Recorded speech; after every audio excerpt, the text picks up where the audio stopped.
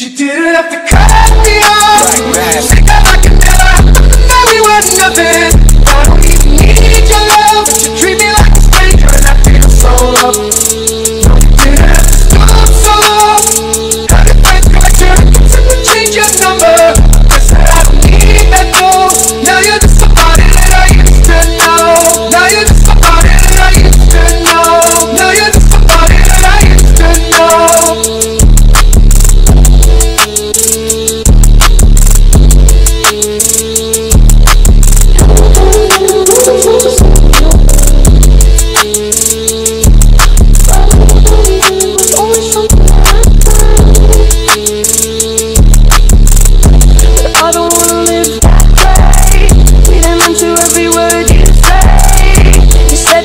let it